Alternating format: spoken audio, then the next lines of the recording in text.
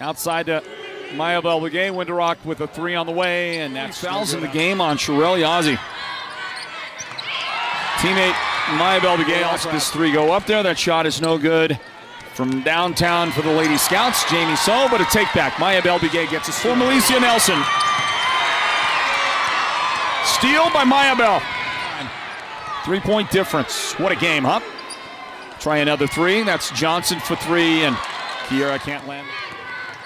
And that is not the case, actually.